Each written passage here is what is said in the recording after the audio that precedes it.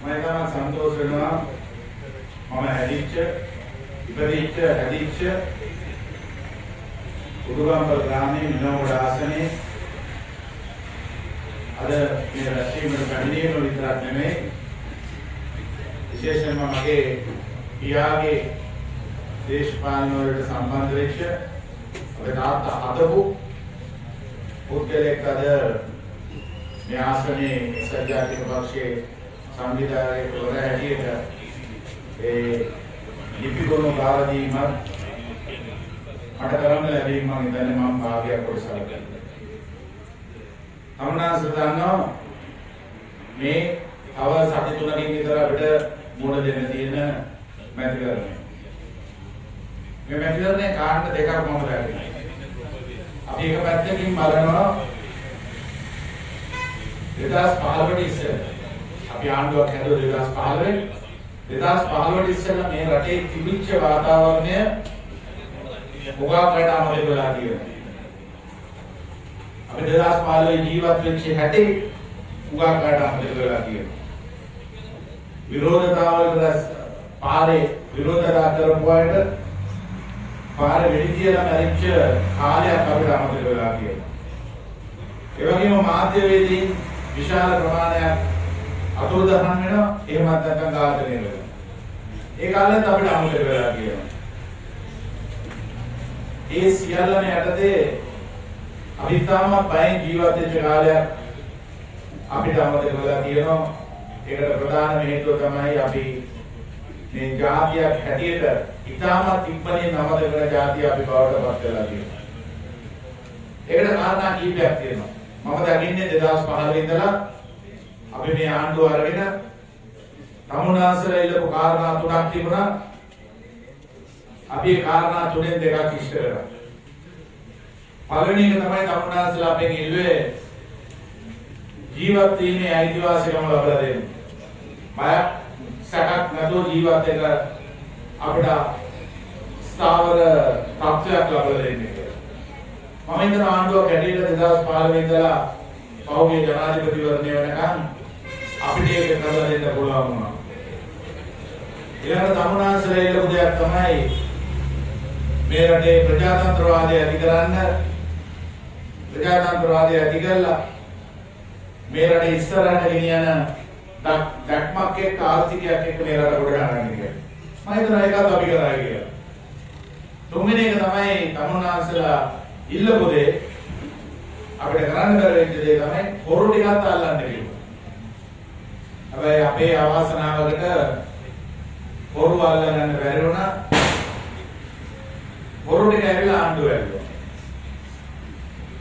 දැන් අද මාධ්‍ය හරහා ඒ වගේම ජනාධිපති කොමිෂන් වල තියෙන තත්ත්වය දැක්කම මෙව්වේ පිටිපස්සේ හිටියේ කවුද කියන එක අද හොඳට පැහැදිලි වෙනවා.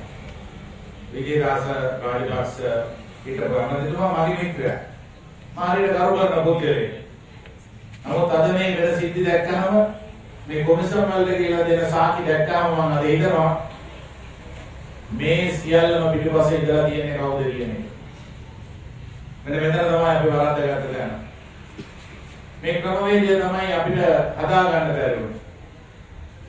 අද ඒකට අපි කියනවට වඩා ඒ පුද්ගලයන් ඇවිල්ලා කියන එක ගැන අපි සන්තෝෂ වෙනවා. මම හිතන්නේ අන්න අපේ දුර්වලතාවය. ඊට පස්සේ තමයි අපි මේ ආණ්ඩුවක් කරගෙන ගිහිල්ලා 2015 ඉඳලා මූලික කාලේ අපි තාමත් හොඳට ජනාධිපතිතුමා සහ අපි ආණ්ඩුවක් ඇටියට තාමත් කිට්ටුවේ වැඩ කරා. හැබැයි ඒකට කනකොකා අඬන්න ගත්තේ ජාතික ආණ්ඩුවක් හදපු වෙලේ ඒ අපිට එක්කවෙච්ච සමහර ඇමතිවරුන්ගේ ක්‍රියාකලාපයෙන් මම හිතන්නේ දකිනවා සමහර ඇමතිවරු මේ රට හදන්න ඒකට විශාල සහයෝගයක් දෙනවා වගේම තව සමහර ඇමතිවරු හිටියා මේකේ යටි අරමුණු වලින් දේශපාලනය කරමු. එතනින් අවුරුද්දක් විතර යනකොට තමයි අපිට ප්‍රශ්න ඇති වෙන්නේ. අද අපි රටක් හැටියට ආණ්ඩුවක් හැටියට කරපු සේවාව විශාලයි. කවදාවත් දුන්නේ නැති මුදල් ප්‍රමාණයක් සංවර්ධන කටයුතු වලට දීලා තියෙනවා. දැන් අද සමහර මේ ප්‍රදේශයේ පාරවල් හදන්නේ අපි අනුමත කරපු ඒ මුදල්.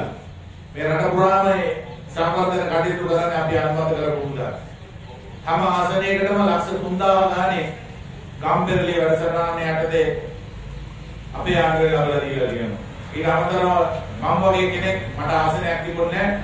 ඒ ආසනයක් නැති සියලුම മന്ത്രിවරුන්ටත් ඒ ලක්ෂ 3000 දුන්නාම අපිට පුළුවන් වුණා මේ දිස්ත්‍රික්කය පුරාම මේ මුදල යොදවන්න.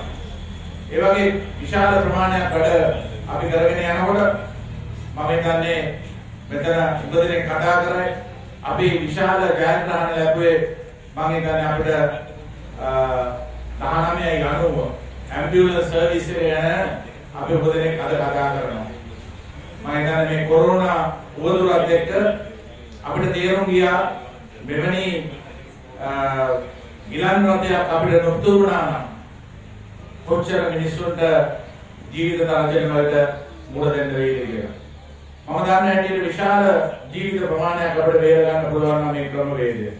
දැන් කල්පනා කරන්න කොහෙන්ද මේ වාවේ කියලා. මට මතකයි ඉන්දියානු අගමැතිතුමා පොලේක හිටපු අගමැතිතුමා රනිල් වික්‍රමසිංහ මහත්මයාගේ ඉල්ලීමක් අනුව එතුමා අහලා තිබුණා ඉන්දියාවේ මේ තියෙන නිලන් රථ සේවා. ඒක අපිට ලබා දෙන්න කියලා කරපු ඉල්ලීම තමයි ඉන්දියානු අගමැතිවරයෙක් අපිට ලබා දුන්නේ. ඒ ක්‍රමවේදය යටතේ නගරෙන් පිට ඉතාමත් දුෂ්කර පළාත්වල ඉන්න මේ රටේ මහ ජනතාවට විශාල සේවයක් වුණා. අධ්‍යාපනය පැත්තෙන් බලපුවාම ළඟම පාසල අමුදම පාසල කියන ක්‍රමවේදයක් එක්ක විශාල වශයෙන් මුදල් ඒ සංවර්ධන කටයුතු වලට යොමු කරා. ඒ විතරක් නෙමෙයි අපි බලාපොරොත්තු වෙලා හිටියා මේ ටැක්ස් ටැප් එකක් මේ දරුවන්ට ලබා දෙන්න. තවුනාස්ලා කල්පනා කරලා බලන්න මේ වගේ කොරෝනා වගේ කාලයක මේ ටැප් එකක් අපේ දරුවන්ට තිබුණා නම් අද ගෙදර ඉඳලා මේ වැඩ ටික කරන්න පුළුවන් වෙනවා. අනිත් රටවල් වල ඒ අධ්‍යාපන ක්‍රමය නැවතිලා නැහැ. මේ ලෝකයේ අනිකුත් හැම රටකම මේ අධ්‍යාපන ක්‍රමය ගෙදර ඉඳලා කරන ක්‍රමයක් අද ඇති වෙලා තියෙනවා. අවාසනාවකට වගේ අපිට අපේ ඒ අරමුණු ඉෂ්ට කරගන්න බැරුණා. ඒ විතරක් නෙමෙයි මම හිතන්නේ සෞඛ්‍ය සේවය දිහා බලපුවම අපි ස්ටෙන්ට් පපුවා මාරුවට දෙන ස්ටෙන්ට් යන්ත්‍ර ස්ටෙන්ට් ලබා දුන්නේ නොමිලේ. ඒ වගේම ඇහැට කාචය ලබා දුන්න නොමිලේ. අද වෙනකොට මේකට මුදල් ලබාගෙන තමයි තමුන්වන්සලාට ජීවත් වෙන්න සිද්ධ වෙලා තියෙන්නේ. ඒ වගේම මම දන්නවා බෙහෙත් වල මිල විශාල ප්‍රමාණයෙන් අඩු කරා. තමුන්වන්සලා ටිකක් හිතලා බලන්න මේ වගේ ආණ්ඩුවක් මේ වගේ කරපු ආණ්ඩුවක් පහුගිය අවුරුදු 20කටම තිබුණාද කියන්නේ. මාත් හිටිය පාර්ලිමේන්තුව අවුරුදු 19 2001 ඉඳලා අද වෙනකම් පාර්ලිමේන්තුවේ හිටියා. මම වාකියේ විපක්ෂයේ අපේ මම ඒ කාලේ මතකයි මේ වගේ සංවර්ධන කටයුතු කවදාවත් මේ කිසිම ආණ්ඩුවකින් සිද්ධ වෙන්නේ නැහැ. අද එක එක්කෙනා නම්බර කතා කරාට මෙවැනි මුදලක් අපිට ගිය එකම කාලය තමයි මම හිතන්නේ 2015 ඉඳලා මේ එක්සත් ජාතික පක්ෂයේ ප්‍රමුඛ ජාතික ආණ්ඩුව මේ රට දුවපු කාලේ. ඉතින් මේ වගේ වැඩ කොටසක් අපි කරගෙන යනකොට තමයි පෞද්ගලික මැතිවරණයේදී අපි ජනාධිපතිවරණයේදී අපි පරාජය වුණේ. ඒකට හේතු තියෙනවා. මම ඒක ගැන කතා කරන්නේ නැහැ. මහ ජනතාවට වෙනසක් අවශ්‍ය වෙලා තිබුණා. තමුන්වන්සලා දන්නවා මේ පාස්කු පොහාරේ විශාල නරකක් අපිට වුණා. ඒ ප්‍රතිඵලයක් ඇටියට මේ රටේ මහ ජනතාව වෙනස් අදහස් එක්ක තමයි පහුගිය මැතිවරණයට ගියේ. ඒ විතරක් නෙමෙයි මම දකිනවා අපි ආණ්ඩුවක් හැටියට විතරක් නෙමෙයි පක්ෂයක් හැටියට අපි දුර්වල වෙච්ච ස්ථාන කීපයක් තියෙනවා. අපේ හිටපු සමහර ඇමතිවරු ස්වාමීන් වහන්සේලාගේ ඒ කියන දේවල් වලට අනවශ්‍ය විතරයට පිළිතුරු දීලා අපිට මම හිතන්නේ බෞද්ධ පදනම අපෙන් ඈත් වෙන්න පටන් ගත්තා. ස්වාමීන් වහන්සේලා අපෙන් ඈත් වෙන්න පටන් ගත්තා. ඒ විතරක් නෙමෙයි මම දැක්ක පහුගිය දවසක අපේ හිටපු අමතිවරේ කාඩිලතුමාට කියපු ප්‍රකාශය. මම ඊටමත් හොඳ බෞද්ධයෙක්. නමුත් මම හිතන්නේ පාසු කුවාරේ පස්සේ කාඩිලතුමාගේ හැසිරීම හින්ද තමයි මේ රටේ ලේවිලක් නැවතුනේ කියන එක මම වකීමකින් කියනවා. කොපිට වෙලා හිටපු මා කතෝලික ජනතාව මම හිතන්නේ කාඩිනතුමා හරි විදියට සැලසුමක් එක ඒගොල්ලන්ව හසුරෝපයකින් මේ රටේ විශාල විනාශයක් අපිට නවත්ත ගන්න පුළුවන්. අපි මොන දේ කිව්වත් අපිට බෑ ආගමික නායකයන්ට ඇඟිලි දික් කරන්න අපිට හිතන හිතන වෙලාවට අපිට වාසියට ඒගොල්ලෝ හොඳද අපිට අවාසියට ඒගොල්ලෝ නරකද කියන එක තීරණය කරන්න අපිට බෑ. මෙන්න මේ වගේ විශාල ප්‍රමාණයෙන් අපිට නැති වුණේ අපේ සමහර මැති ඇමතිවරු කරපු ප්‍රකාශය. හැබැයි මම අද කියන්නේ අපි එකතකින් මම මේ පක්ෂය කැඩීම ගැන මම දුක් වෙනවා. මොකද මම විශාල මාංශයක් ගත්තා මේ කණ්ඩායම එකතු කරගන්න. මොකද මම එතකොට එක්සත් ජාතික පක්ෂයේ සමාජිකයෙක් නෙමෙයි. මම වක්ලවට මධ්‍යස්ථ පුද්ගලයෙක් හැටියට තමයි මම දේශපාලනය කරන්නේ. ඒකට කාරණා කීපයක් තියෙනවා. හැබැයි මම මේ එක්සත් ජාතික පෙරමුණ හදන්න අපි 2015 ආණ්ඩුව හදන්න මූලිකවත් මූලික වෙච්ච කෙනෙක් හැටියට මම දන්නවා මේ ආණ්ඩුවක් හදපු එකේ මොනතරම් අපි දුකක් විඳලා කියලා. කවුරුත් කිව්වා රාජපක්ෂලාව පරද්දන්න බෑ කියලා. හැබැයි අපි රාජපක්ෂලාව පරද්දුවේ අපි ආණ්ඩුවක් ලබා ගත්තේ ඔය කියපු රාජපක්ෂවරු ඉන්න දේශපාලන ක්‍රමයක් යටතේ ඒගොල්ලන්ගේ ආණ්ඩුවක් යටතේ කියන එක. ඉතින් මේ වගේ තත්ත්වයක් අපිට ඇති වුණේ විශාල වශයෙන් මේ අපේ සමහර අනවශ්‍ය දේවල් හින්දා. මේ කරපු පුද්ගලයා අද එකතකින් අපිට නෑ. අපි අද ආණ්ඩුවක් අපේ පක්ෂයක් හැටියට අපි දෙකට කැඩීම මම හිතන්නේ මෙතන ඉන්න අය විතරක් නෙමෙයි එක්සත් ජාතික පක්ෂීකයන්ට විශාල ප්‍රශ්නයක් බවට පත් වෙලා තියෙනවා. තවුනාන්සර ටිකක් කල්පනා කරන්න මේ ක්‍රියාදාමය කොහොමද සිද්ධ වුනේ කියලා. මේක මටත් මේ එක්සත් ජාතික පක්ෂයේ ජ්‍යෙෂ්ඨ සමාජිකයෙක් අවුරුදු 80ක් විතර වෙන කෙනෙක් මට සිරිකොතදී කිව්වා අමතුමා මෙන්න මේ දේ පොඩ්ඩක් හිතලා බලන්න අපිට වෙච්ච දේ මේක නෙමෙයිද කියලා. ඒ මහත්ය මට කියනවා 2015 අපි ජනාධිපතිවරණයට යනකොට අපේ පක්ෂයේ හිටපු ලේකම් තිස්ස අත්තනායක මහත්තයා අරුණාසලට මම දෙකදී තාමත් කෙටි දවසකින් එහා පැත්තට ගියා. රාජපක්ෂ මහින්ද රාජපක්ෂ මහත්තයාගේ දැක් ශක්තිමත් කරන්න කියලා එහා පැත්තට ගියා. එතකොට මේ පුද්ගලයා එහා පැත්තට ගියාට පස්සේ ඊළඟට අපි අපේ ක්‍රමවේදය ඉදිරියට ගෙනෙලා අපි ආණ්ඩුවක් හදලා ඉන්නකොට එතුමා කරපු විවිධ චෝදනා අන්තිමට උසාවි යානෙත් යන්න සිද්ධ වුණා. මේ සියල්ලම ඉවරලා මේ 2019 අපි මැතිවරණයකට යනකොට ඊට ඉස්සෙල්ලා මම පොඩ්ඩක් පස්සට යන්න ඕනේ අපේ දවස් 50 ගානේ අපිට නැති වෙච්ච ආණ්ඩුව ගමනාසලට මතකයි.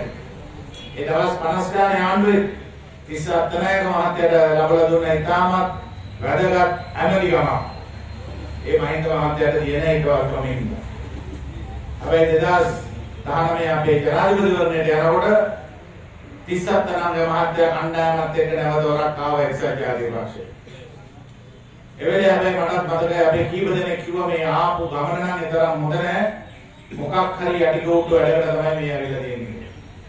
අද වෙනකොට ඒකේ ප්‍රතිඵල අපි අත්විඳින්න තියෙනවා. අපේ පක්ෂ දෙකට වෙලා තියෙනවා. අපේ පක්ෂ සමාජිකයෝ දන්නේ මොනවද කරන්නේ කියලා. මේ සියල්ලම අරා තමයි අද අපි මේ වැඩිවරණයකට යන්නේ. මම එක්සත් ජාතික පක්ෂයට වැදෙන්න කාරණා කීපයක් තියෙනවා. තවුනාසලා දන්නවා මම මෙතන මගේ දේශපාලන ඉතිහාසය කියන්න ඕනේ නැහැ. මගේ පවුල දේශපාලන ඉතිහාසය කියන්න ඕනේ නැහැ. අපි ශ්‍රී ලංකා නිදහස් පක්ෂ පවුල වල නමුත් මට කාරණා දෙකක් තියෙනවා මේ එක්සත් ජාතික පක්ෂයට වැදෙන්න. එකක් තමයි මම දැකපු ආර්ථික දර්ශනයක් කියන එකම පක්ෂය එක්සත් ජාතික පක්ෂය. මම ශ්‍රී ලංකා නිදහස් පක්ෂ චන්ද්‍රිකා බණ්ඩාරනායක මැතිණියගේ කාලේ මම නියෝජ්‍ය අමාත්‍යවරයෙක් හැටියට හිටියා. එතුමිය දර්ශනයක් එක්ක වැඩ කරා.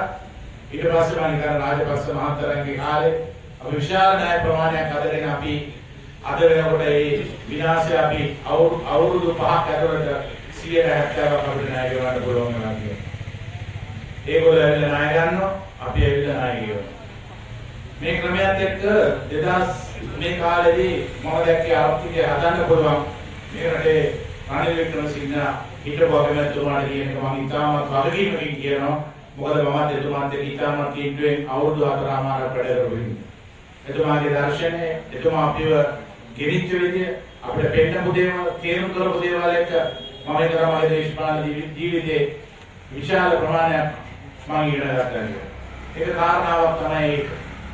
දෙවන කාරණාව තමයි 2015 අපි ජනාධිපතිවරණය දීලා මේ ගම්පහ දිස්ත්‍රික්කයේ මම ඉදිරිපත් වෙනකොට එක්සත් ජාතික පෙරමුණ හරහා අපි ඉදිරිපත් වෙනකොට මට මම ගම්පහ දිස්ත්‍රික්කයේ දේශපාලනය කරන ඒකට හේතු කීපයක් තිබුණා මගේ තාත්තා දේශපාලනය කරේ මෙහෙ මගේ සහෝදරයෝ මේ දේශපාලනය කරපු හින්දා රණතුංගල වැඩේ හින්දා මම හිටියේ පිට. හැබැයි මම 2015 තීරණය කරා තාත්තත් නැහැ මමත් ඇවිල්ලා මේ දේශපාලනය කරන්න ඕනේ කියලා. ඒ ආපුවලේ මට ඒ වැඩිවරණයට මම ඉදිරිපත් වුණේ එක්සත් ජාතික පෙරමුණ. එක්සත් ජාතික පෙරමුණේ ඉදිරිපත් වෙනකොට මම ගැන තිබ්බ විශ්වාසය මම දන්න එක්සත් ජාතික පාක්ෂිකයන් විශාල ප්‍රමාණයක් මට ඡන්දයක් දීලා මා පාර්ලිමේන්තුවට ගියා. මම දන්නවා ශ්‍රී ලංකා නිදහස් පක්ෂයේ තවත් කොටසක් අපිට ඡන්දය දුන්නා. මට පෞද්ගලිකව ඡන්දය ලබා දුන්නා ඉන්නවා. ඒ වගේම මධ්‍යස්ථ පුද්ගලයෙක් මට ඡන්දය ලබා දුන්නා. හැබැයි වැඩි ප්‍රමාණයක් මාව පාර්ලිමේන්තුවට යවුවේ 180කට කිට්ටු ඡන්ද ප්‍රමාණයක් තියලා වෙන කවුරුත් නෙමෙයි එක්සත් ජාතික පාක්ෂිකයන්. ඒ වගේම මටත් රණතුංගලට ආදරය කරන ශ්‍රී ලංකා නිදහස් පක්ෂිකයන්. ඉතින් මට එක්සත් ජාතික පක්ෂයේ මේ ප්‍රශ්නයකට මුහුණ දෙන වෙලේ මට පක්ෂය දාලා යන්න බෑ. ඒ වගේම මම කියනවා මට ඒ ආණ්ඩුවේ ඉතාමත් වැදගත්ම ඇමතිකම් තුනක් මට ලබා දුන්නා. මම ඒකට මම ඇත්තටම කියනවා නම් මෙන්න මේ කාරණා දෙක තුන තමයි මම හිතුවේ මේ වෙලාවේ එක්සත් ජාතික පක්ෂය රටෙන් යන වෙලේ ප්‍රශ්නයක් ඇති වෙච්ච වෙලේ මමත් එක්සත් ජාතික පක්ෂයට බැඳිලා මේ ක්‍රමවේදය වෙනස් කරන්න අලුත් එක්සත් ජාතික පක්ෂයක් හදන්න අපි සියලු දෙනාම එක්කව වෙන වැඩ පිළිවෙලක් අපි පටන් ගත්තා. ඒකේ ප්‍රතිඵලයක් හැටියට මම තමයි අලුත්ම සමාජික එක්සත් ජාතික පක්ෂය. මෙතන ඉන්නේ මට වඩා අවුරුදු ගාණක් ජ්‍යෙෂ්ඨ සමාජිකයෝ. දැන් අපි යන් අපේ පක්ෂය ගැන.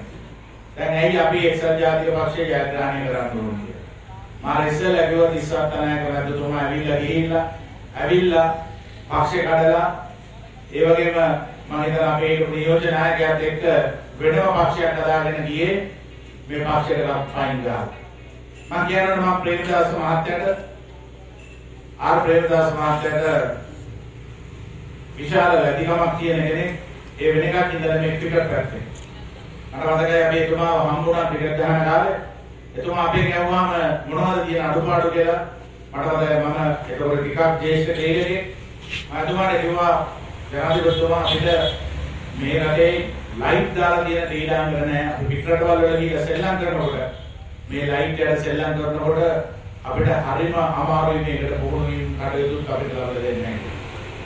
මාස 6ක් 8ක් වෙන ඉතාමත් කෙටි කාලෙක ඒ ප්‍රේමදාස මහත්තයා අපිට හදලා දුන්නා ලයිට් ටික දාලා මේ ක්‍රීඩාංගනේ.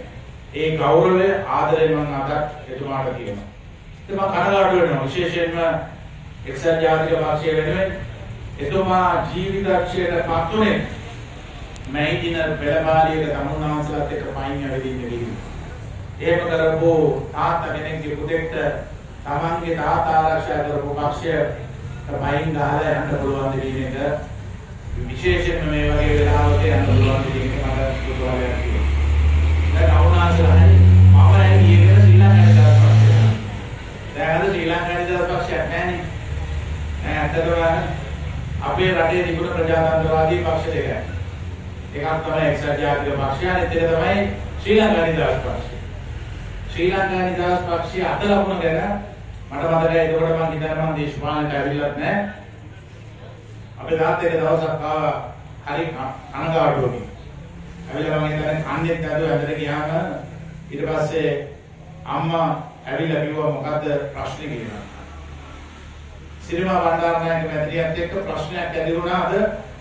ඒ ප්‍රශ්නේ තමයි පළවෙනි පාර්ත අත ලකුණ ශ්‍රී ලංකා නිදහස් පක්ෂය කියන නම නැතුව මැතිවරණයකට යන්න කණ්ඩායමක් එක්ක සාකච්ඡා කරනකොට සිරිමා බණ්ඩාරනායක මැදිරිය එකට එකතු වුණාම තාත්තා ඒකට විරුද්ධ වෙලා කිව්වලු මේක කරන්න දෙන්න එපා කවදාවත් කියලා.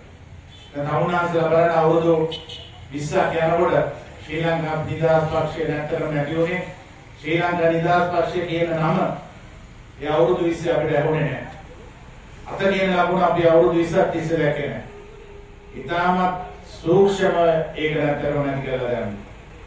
ඊළඟට බලන්න අපිට වෙන්න තිබ්බේ මේ පාර්ලිමේන්තු වැඩිවරණේ ඉතිහාසයේ පළවෙනි පාර්ත තමයි එක්සත් ජාතික පෙරමුණ එහෙම නැත්නම් එක්සත් ජාතික පක්ෂය හැටියට අලිය ලකුණු නැතුව මේ වැඩිවරණයට ඉදිරිපත් වෙන්න හැදුවේ මේ වෙනම කණ්ඩායම. ඒකට අපි මන්ත්‍රීවරු 29 දෙනෙක් පාර්ලිමේන්තුවේ මන්ත්‍රීවරු 29 දෙනෙක් ඒකට විරුද්ධ වුණා. අපි දුව එක්සත් ජාතික පක්ෂය හෝ පෙරමුණ ආදාගෙන සියලුම සංවිධාන කටයුතු කරගෙන යන්න කියලා. නමුත් ඒකට විරුද්ධ වෙච්ච කට්ටිය තමයි අද ගිහිල්ලා දැන් එහා පැත්තට ගිහිල්ලා ඉන්නේ. දැන් අපිට අපිට ඒ ගැන කනගාටුවක් තියෙනවා. මොකද සමාජලාට අපි එකට හිටියා නම් අද අපිට ආණ්ඩුවක් හදන්න උනත් ඒ ශක්තිය අපිට ලබා ගන්න පුළුවන්. මොකද අද වෙනකොට ආණ්ඩුව පිරීලා ආණ්ඩුව ගැන ඉතාමත් නරකට මිනිස්සු කතා කරනවා. අර ඡන්ද ලක්ෂ 69න් කී දෙනෙක් ඉතුරු වෙලාද කියලා අපිට තේරෙන්නේ නැහැ. කවුරුත් ඡන්ද දෙනවද කියලා අපිට තේරෙන්නේ නැහැ. ඒ වගේ තත්ත්වයකට පත් වෙලා තියෙනවා. හැබැයි අපිට අද විශාල අරමුණක් තියෙනවා මේ පක්ෂය රැකගන්න. අද මම හිතන්නේ විනෝම්බට ආසනේ മന്ത്രിවරු වැඩි ප්‍රමාණයක් අනිත් පැත්තට උදව් කරනවා. මට තියෙන කනගාටුව තමයි අපි දේශපාලනය කරන්න ඕනේ ප්‍රතිපත්තියක. මම නම් ප්‍රතිපත්තියක දේශපාලනය කරා. ගිය මාසේ පඩි අරගෙන. ගිය මාසේ ටෙලිෆෝන ලවන්ස් එකත් අරගෙන. එහා පැත්තට යන්න පුළුවන් മന്ത്രിවරු තමයි එක්සත් ජාතික පක්ෂයේ පෞගේ කාලේ ඉඳලා තියෙන නායකට කනගාටු ඒ වගේම විශාල සංවර්ධන කටයුතු වලට මුදල් අරගෙන මේ ගම හදලා මේ ආණ්ඩුවෙන් එක්සත් ජාතික පක්ෂ ආණ්ඩුවෙන් ලැබිච්ච සල්ලි ටික අරගෙන සංවර්ධන කටයුතු කරපු മന്ത്രിවරුන්ට මේ වගේ දෙයක් කරන්න පුළුවන් කියන එක මට නම් එක වෙන්න බැරි දෙයක්. හැබැයි ඒක මත්තනේ හොඳ මේව සුද්ධ වෙන්න ඕනේ. මම එක දෙයක් කිව්වා මම මේ දිස්ත්‍රික්කේ වාර ගන්නකොට මම ඒගොල්ලන් නිලවන්ත නැමතුමායි අපි දෙන්නම අග්‍රාතුමාට කිව්වා මේක සුද්ධ කරන්න හොඳ කාලය ඇවිල්ලා තියෙනවා කියලා.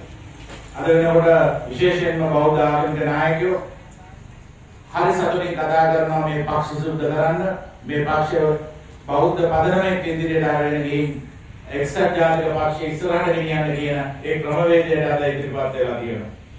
මම ඉතාමත් කනගාටුවෙන් කියනවා මේ පක්ෂයෙන් උගක් ලාභ ලබලා පක්ෂයෙන් උගක් කාලයක් හිටපු පුද්ගලයන්ට පුළුවන් නම් මේ පක්ෂයට ඇදලා පක්ෂය දාලා යන්න මම හිතනවා ඒගොල්ලන්ට එහෙම යන්න දීලා ඊට වඩා හොඳ කණ්ඩායමක් අපි හදාගෙන මේ මැතිවරණය විතරක් නෙමෙයි ඉදිරි මැතිවරණ වලට හොඳ කණ්ඩායමක් හදාගෙන යන්න අපි ලෑස්ති වෙන්න ඕනේ.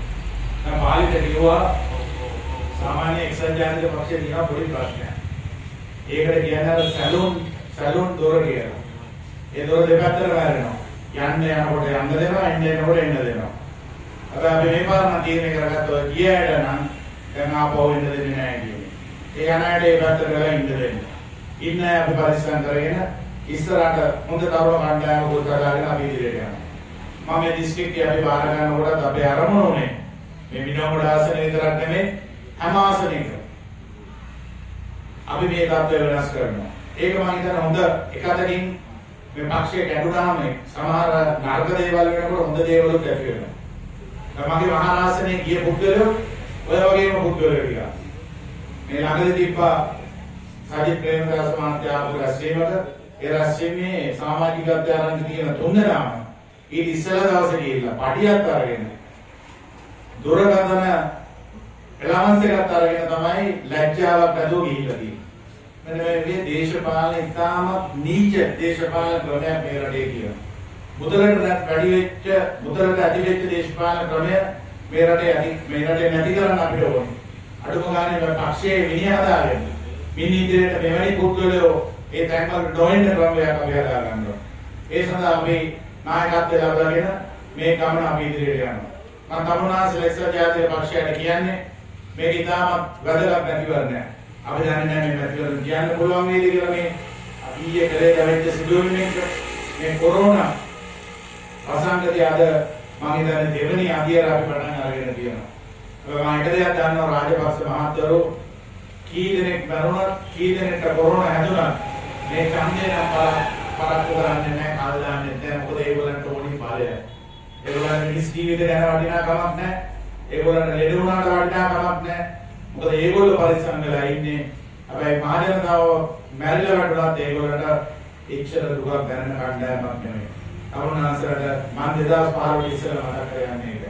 ඉතින් අද අපි පක්ෂයක් හැටියට ගම්පහ දිස්ත්‍රික්කයේ වෙනම දේශපාලන ක්‍රමයක් අපි ඇති කරලා තියෙනවා. අපි කවුරුත් මනාප එළවගෙන යන්නේ නැහැ. මම කියලා තියෙන තමන්ගේ දිස්ත්‍රික්කයේ තමන්ගේ ආසනය දියුණු කරගන්න, තමන්ගේ ආසනය ඉදිරියට ගෙනියන්න ඒ දේශපාලන නායකයෝ දැනගන්න ඕනේ.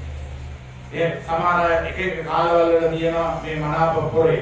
මම හිතන්නේ මේ අනිත් අනිත් පක්ෂවල මේක ඉතාමත් නරක විදියට මේ දිස්ත්‍රික්කේ තියෙනවා. ඒ තත්ත්වය අපිට ඉදිරිපත් වෙලා නැහැ. අමුනාසලා බලන්න මගේ ඉන්න 21 දෙනෙක්. අපේ ඉන්න 21 දෙනෙක් නාම යෝජනා දීලා ඉතාමත් හොඳට හොයලා බලලා තමයි අපි මේ නාම යෝජනා දීලා තියෙන්නේ. ඒ තමුනාසලා මේ පස්වෙනිද තියෙන මහා මැතිවරණයේදී මේ එක්සත් ජාතික පක්ෂය රැකගන්න තමුනාසලාට විශාල වගකීමක් තියෙනවා. මේක තමුනාසලාගේ පක්ෂය. එහෙම නැතුව මේක රනිල් වික්‍රමසිංහ මහත්තයාගේ එහෙම නැත්නම් සජිත් ප්‍රේමදාස මහත්තයාගේද එහෙමත් නැත්නම් වෙන කාර්යවත් පක්ෂයක් නෙමෙයි. මේක දුප්පතාවක නරක පක්ෂය මේ ඉදිරියට ගෙනියන්නේ ශක්තිමත් කරන්නේ. එක්සත් ජාතික පක්ෂය ආදරය කරන අය අලියලා පොඩ කතරයක් ගහලා මේ පස්සෙන් දැන මැතිවරණයේදී අපිට විශාල ජයග්‍රහණයක් ලබා දීලා අපිට ආණ්ඩුවක් කරගන්න. අපිට ආණ්ඩුවක් හදන්නේ සහයෝගය ලබා දෙන්න. එක්සත් ජාතික පාක්ෂිකයන් පිට යන්නේ නැතුව අපිට ආණ්ඩුවක් හදන්න ඡන්දය ගෙවුවොත් තාම අපිට ආණ්ඩුවක් හදන්න පුළුවන්. වෙන තැනකට ගියේ නැත්නම්. සමහර මේකට hina වෙයි. මම කියන කතාව හරියට අහගන්න. සියලුම එක්සත් ජාතික පාක්ෂිකයන් අද එක වුණොත් ඒ පක්ෂයට ඡන්දය ගැහුවොත් අනිවාර්යයෙන්ම අපිට ආණ්ඩුව හදන්න පුළුවන් මොකද අද මධ්‍යස්ථ ඡන්ද උගා දුරට වෙනස් වීගෙන යනවා. ඒකින්ද මේ අටවෙනිදා මේ මැතිවරණයේදී ඒ සහයෝගය තමුන්නාසලා ලබා දීලා මේ දිස්ත්‍රික්කයේ ජයග්‍රහණය කරන ගමන් විශාල වශයෙන් මේ ප්‍රදේශය තමයි අපිට උගාක්ම ඡන්ද ප්‍රමාණය අඩු තියෙන තැන. විනෝම්වල දිවුලපිටිය, මීරිගම, ගම්පහ මෙවැනි ප්‍රදේශ වලින් තමයි අපිට ඡන්ද ටිකක් අඩු වෙලා තියෙන්නේ. අද අපි දන්නවා එක්සත් ජාතික පාක්ෂිකයන් බය වෙයි සමාජවලට මැදින් මේ ඡන්දයන් මේ සියල්ලම පස්සකට දාලා තමුන්නාසලගේ වටිනා ඡන්දය අපිට පස්සෙන් ලබා දෙන්න කියලා ඉල්ලීම කරමින් අවසාන වශයෙන් මම අද තමුන්නාසලගේ ආසනයේ සංවිධායකවරයා හැටියට පත් වෙච්ච අපේ පවුලෙත් එක්ක පොඩි කාලේ ඉලකට හැදිච්ච බාලික රේණු කුමාර සහෝදරයාට මගේ සුබපැතුම් ඉදිරි ඉදිරිපත් කරමින් පක්ෂයේ මගේ සුබපැතුම් ඉදිරිපත් කරමින් අද මේ ස්ථානයේ පැමිණි ඔබ සියලු දෙනාට මගේ ස්තුතිය පුද කරමින් මගේ වචන සල්පය ආසන් කරන බොහොම